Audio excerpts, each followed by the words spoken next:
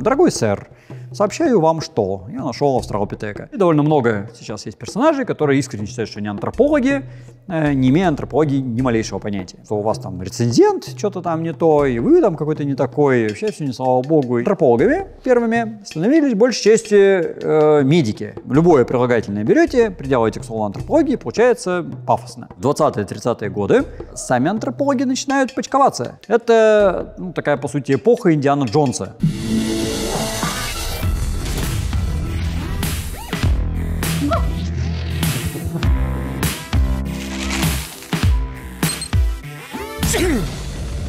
Итак, и снова программа «Человек разумный» и ее ведущий Требушевский. Э, и сейчас мы поговорим про историю науки антропологии.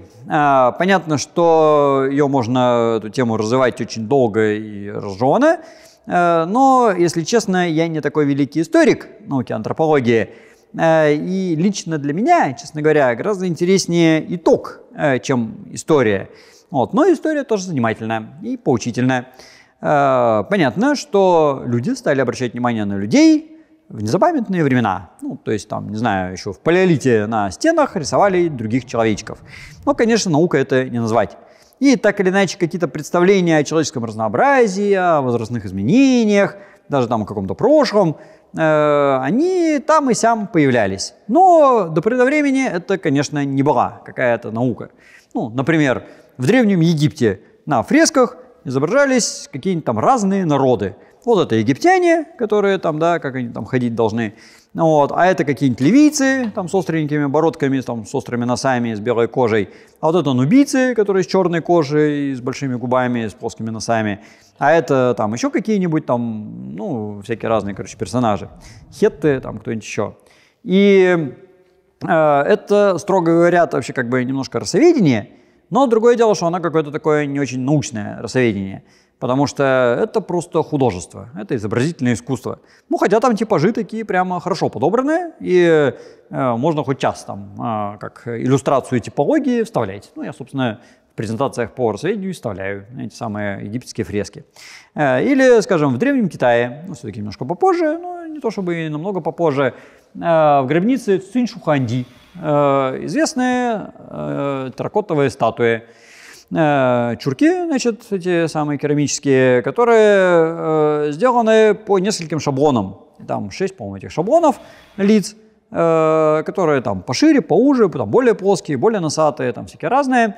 И если их протипологизировать и описать их параметры, то удивительнейшим образом получается, что это э, расовая классификация монголоидов по Чебоксарову. Производство середины или даже конца 20 века. Э, ну, потому что очевидно, что мастера при Циншухуанзе жили чуток пораньше.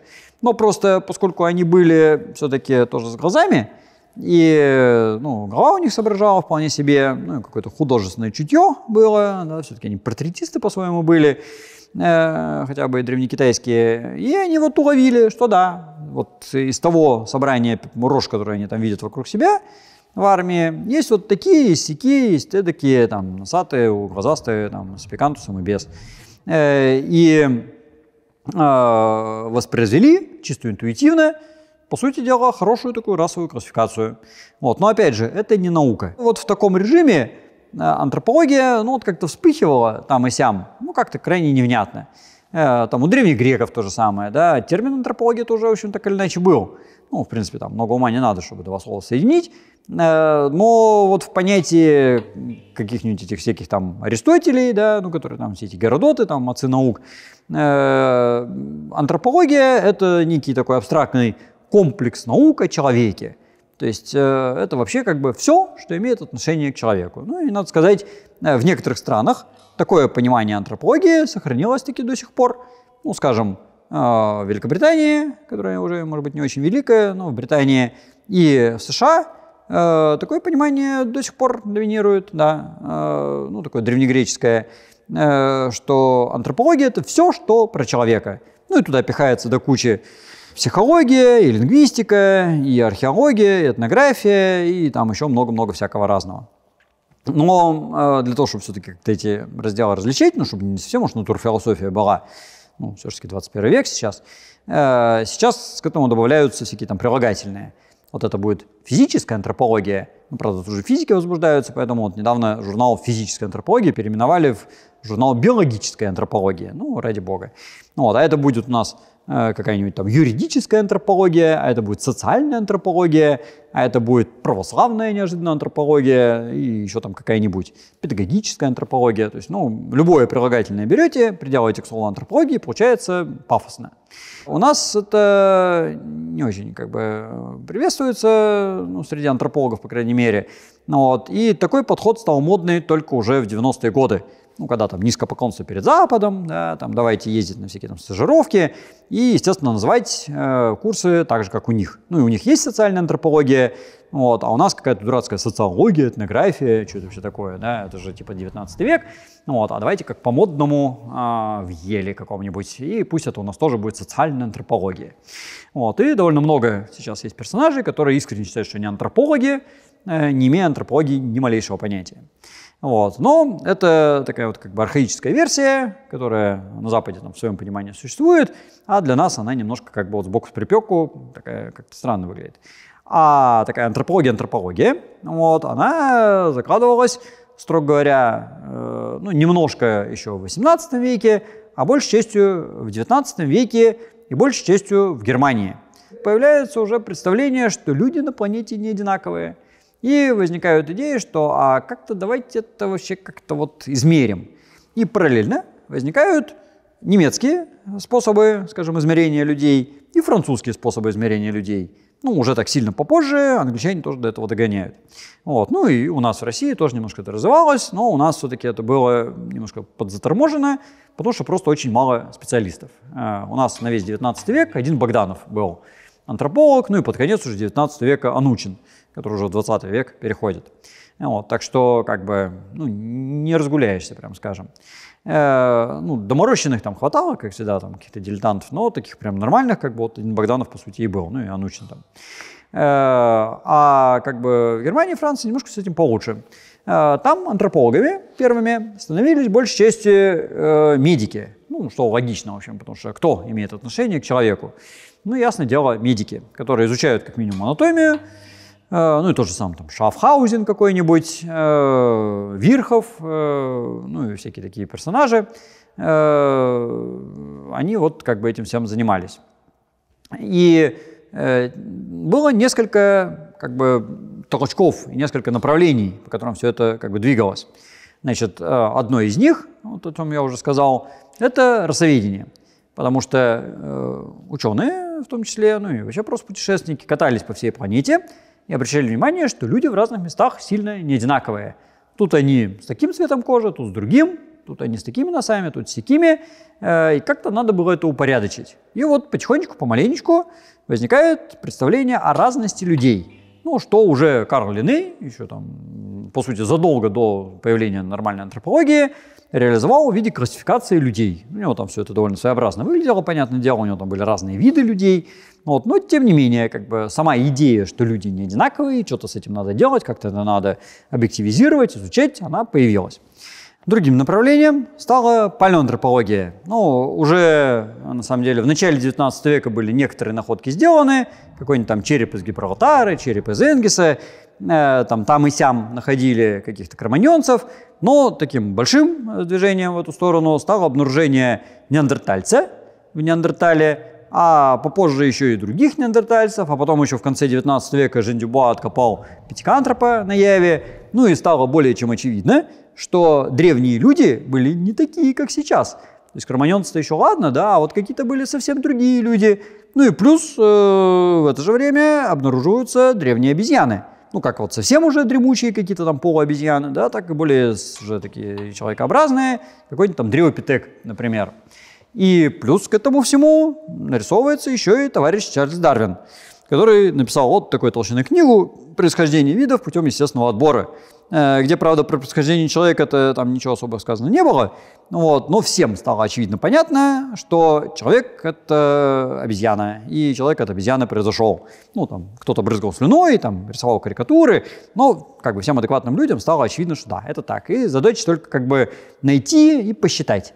И, собственно, находки стали появляться. Ну, тут, кстати, любопытно, что находки-то были понятны и до этого, и регулярно находили тех же там и неандертальцев, кого угодно, но тут их стали распознавать. Ну, скажем, череп из Гибралтара и Энгиса, который я уже упоминал, они были найдены задолго до Дарвина. Но они на полочке лежали и никому были неинтересны. А многие такие черепа, видимо, были тупо утеряны. Э, и мы про них ничего толком не знаем. Там или какие-то косвенные сведения у нас есть, или вообще никаких сведений нет. Вот. Ну, а вот с этого момента стали понимать, что да, как бы это какие-то нестандартные штуки, и как бы вот Дарвин это все написал, поэтому давайте мы их в встроенную систему встроим. А для этого нужно э, как-то это объективизировать. И появляются методики э, измерения и описания. Э, ну и появляются сообщества краниологов, которые изобретают методики, и самые разные. Допустим, там во Франции методика брака, э, в Германии Франкфуртское соглашение, э, ну и там всякие прочие. Э, ну и начинаются изгаления всякие, да, как вот, допустим, раздолбанный череп неандертальца, как его так померить, у него там как бы немного чего от него осталось-то, да, чтобы сравнить с современными людьми. Вот, и какие выводы из этого можно сделать. И формируются методики измерения, формируется инструментарий, то есть сами вот штуки, которыми можно измерять, и там первые иногда очень экзотические возникали, всякие довольно странные, а чуток попозже уже в 20 на самом деле веке, э, все это унифицируется. И тут несколько есть таких великих столпов. В частности, в Германии это Мартин, который э, создал единую уже такую сводную методику измерения краниологическую, э, ну, скомпилировал все, что было до него, придумал свое новое, и все это упорядочил очень грамотно. То есть, ну, был немцем, как бы Мартин, да, поэтому у него все прямо по разнарядочке, все как надо. И настолько удобно это сделал, что до сих пор все измеряют по Мартину. Возникает школа Пирсона. Ну, там, понятно, что не один только Пирсон был, там было много персонажей, вот, но они стали нормально считать. Потому что первые вот эти вот измерения – они были э, индивидуальными и мало о чем говорили. И, соответственно, веры им было тоже не сильно много. Потому что, ну, даже если есть методика, и мы померили там, скажем, длину черепа, и чё, как бы, ну, вот у нас есть цифра, там есть ширина черепа, там это восьмой размер, да, и чё, как бы, вот. А надо как-то сравнить вот эту совокупность находок с этой совокупностью находок. И Пирсон, Карл Пирсон, английский как раз исследователь, э, создал статистику – ну, и тем более, что создавал он ее не только для э, обсчета этих ископаемых черепов, ну, хотя бы даже и всяких рассвеческих там этих признаков, а на самом деле к этому моменту в полный рост встает третья мегазадача антропологии. И, стало быть, формируется третий большой раздел антропологии. Это возрастная и конституциональная антропология, которая поначалу была сугубо практической. Ну и Пирсон в том числе в этом участвовал. Ну, там не только он, понятно, опять же, да, многие другие. Э, когда возникает задача. Вот у нас есть новобранцы. Какого они размера? Вот сколько надо сделать сапог? 45 э, размера, сколько 43, сколько 48, чтобы и лишние не остались, и ноги не натирали, да, и не болтались, и как бы, чтобы всем хватило, и чтобы еще этих э, типов сапог размеров было немного, ну, чтобы промышленность не перегружать, да, там под каждого отдельно это не подгонять, вот, и чтобы небольшое количество э, образцов подходило для всех. Вот, ну, какой-то уродец всегда найдется нестандартный, да, какой-то кривой косой, там, какой-то слишком маленький, слишком большой, там, какой-то несуразный, но э, таких не берут космонавты. А нам нужны штампованные солдаты. Вот. Но они, тем не менее, не штампованные. Вот. И как-то надо вот реальность подогнать э, под реальность. Э, и возникает задача вполне такая вот статистическая – надо померить сотни людей, ну, чем больше, тем лучше, потому что всем уже понятно, что люди разные, э, и как-то это посчитать. А как посчитать? Нету никакой методики. И вот Пирсон, и не только он, эту методику создавали. И э, сейчас для нас уже такие очевидные понятия, как там средняя статистическая, там, минимум, максимум, сигма, какой-нибудь там коэффициент вариации, э, коэффициент ковариации, там, ну еще что-нибудь из этой серии, да, Э, были тогда созданы.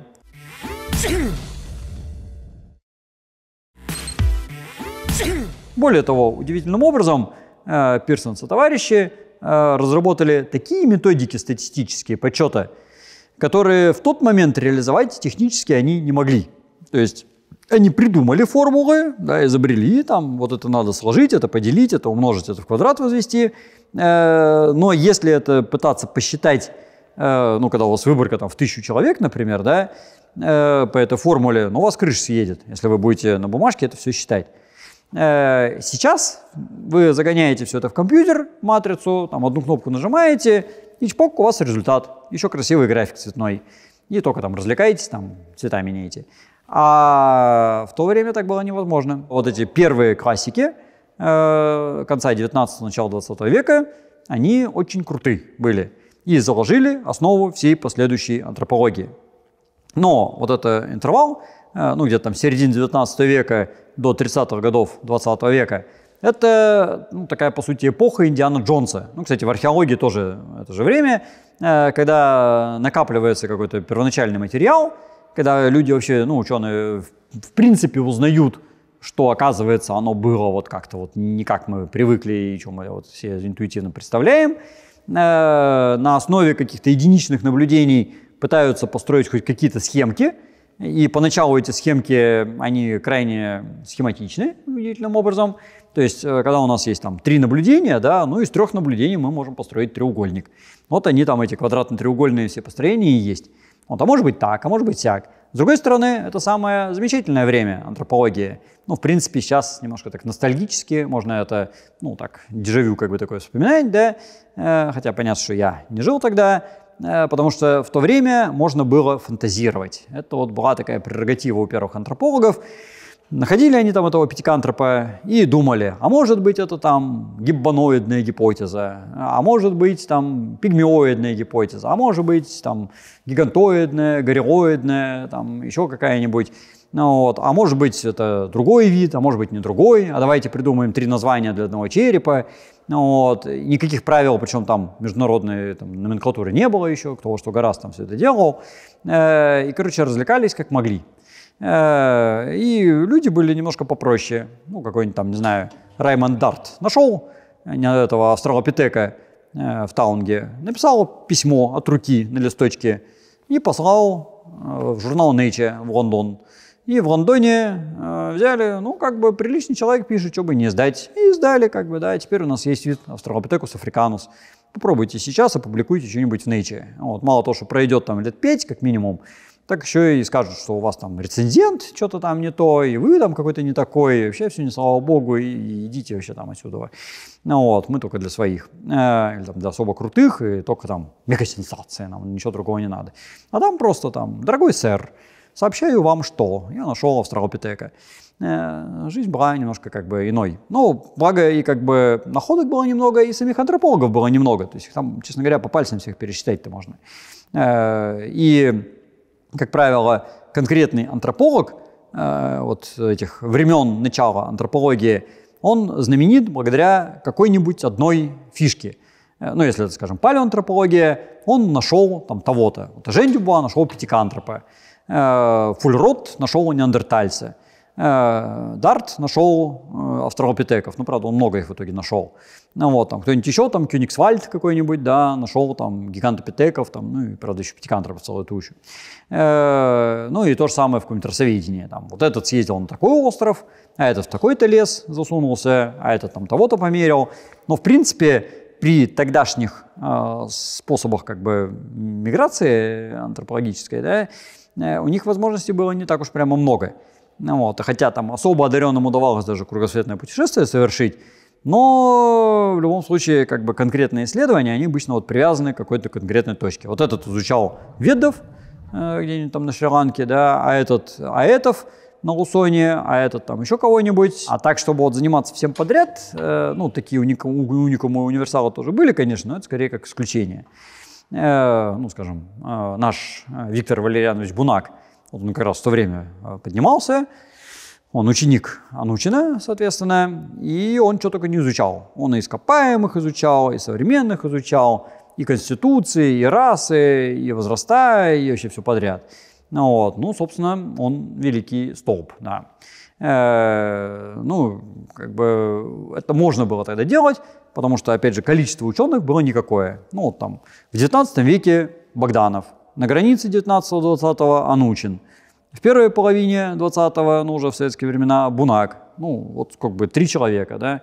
Но, если честно, дальше поколений тоже не так уж много, потому что ученицей Бунака была Хрисанфова, а учеником Хрисанфова являюсь я.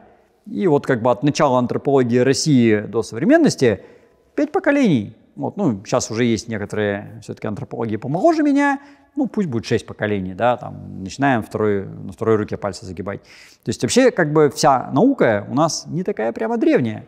Ну, вот, но, благо, все-таки уже в 20-30-е годы э, сами антропологи начинают почковаться и плодиться со страшной силой. И количество направлений начинает резко возрастать.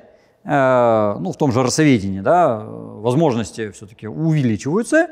Э, и, допустим, у нас в стране э, начинаются методические исследования в Сибири, в Средней Азии, на Кавказе, ну, потому что уже Советский Союз, там всяких этих э, контуров всякую задавили, басмачей всяких там уже приструнили, и стало возможно поехать куда-нибудь изучить здесь якутов, тут бурятов, тут узбеков, тут там, не знаю, нагайцев каких-нибудь, да, тут еще кого-нибудь. И э, там кетов стали ездить вот туда-сюда изучать. Э, и надо сказать, что для расоведения э, вот этот довоенный период, где-то там 20-30-е годы, это золотой век. Столько, как за то время, не было изучено после никогда. Ну, в немалой степени потому, что во время Великой Отечественной войны вот эта область расоведения очень сильно была дискредитирована.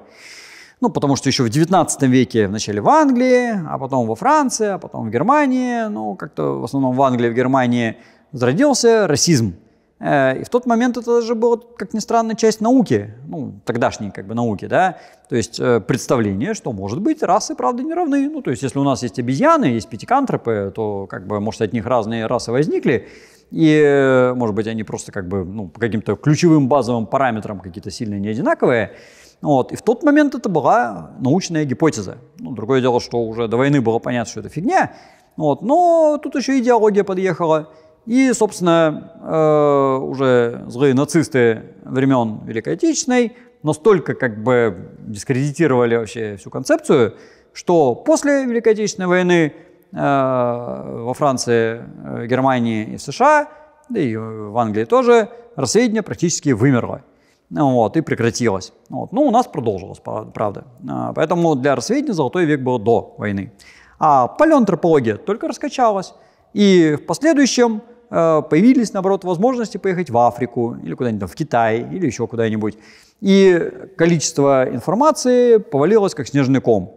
Вот. Ну и, соответственно, интервал времени, ну где-то условно там от конца войны до 90-х примерно годов – это период безумного накопления информации, когда стало много-много-много всего накапливаться. Ну, у нас и по сведению в том числе, да, а по всему миру палеоантропология, ну и возрастная конституциональная тоже не пропадали. Вот. А уже где-то вот с 90-х и там начала э, 21 века э, мы вступаем, в общем, по сути дела, в новый этап, когда появляются еще и новые методики, когда появляется там какая-никакая там палеогенетика, а теперь еще палеопротеомика, палеодитология, палеопатология, ну, в зачаточном виде все это было и раньше, понятно, да, но он такой на уровень таких прочных дисциплин, где там не просто один человек там этим занимается, да, раз в жизни и все, а когда это методично, долго и постоянно накапливается информация, это уже вот, по сути, 21 век. И сейчас э, мы находимся в моменте, когда у нас там уже очень сильно усложняются связи между разными науками. И исследование древних людей неожиданно становится актуально, э, ну, там, какие-нибудь синхрофазотроны, да, там какие-то ускорители частиц, там что-нибудь такое, и без этого уже невозможно изучать древних людей. Там какие-то томографы появляются, там выделение молекул, э, микроскопия, ну и там всякие хитроумные способы, когда мы даже из более древних каких-то находок, ну старых в смысле находок, можем новую информацию получить. И комплекс наук все время усложняется. Э, намного больше связи там, с той же археологией, они, в общем-то, и раньше, понятно, были, да, но намного больше с палеонтологией, там, с климатологией, с географией, и с чем только там можно. Вот, ну, тоже с расоведением. Вот, ну, только что она почти везде загасла, кроме как у нас, японцев, и там где-то в Южной Америке, но тем не менее. И э, нет сомнения, что вот этот вот синтез наук будет двигаться и дальше. И в какие-то, там, может быть, не сильно далекие времена – и антропология, и все другие науки выйдут на совершенно новый уровень. Ну, первые предвестники этого – это увеличение доступности информации, появление баз данных, интернета, там пресловутые там, метаданные, э, всякие там искусственные интеллекты, которые, правда, пока ничего не создали в этом смысле, но, видимо, они готовятся. Э, и, может быть, э, усилиями уже многих-многих наук, глядя на все это с разной стороны, мы получим какое-то мега новое знание, которое всю науку поднимет на следующий новый уровень. Но это дело будущего. А пока, конечно же, ставьте лайки, если вы что-то узнали новое про историю антропологии. Ну, если вы все это уже давно знали и лучше все это можете рассказать, ставьте, конечно же, дизлайки. А в любом случае пишите комментарии. Пишите, э, какая история вас, вашей науки, э, что вы еще знаете про историю антропологии. И, конечно же, делитесь э, своим богатым знанием, что будет потом, куда двигается антропология. Подписывайтесь на телеграм-канал RTVI, там вы узнаете еще много всего интересного.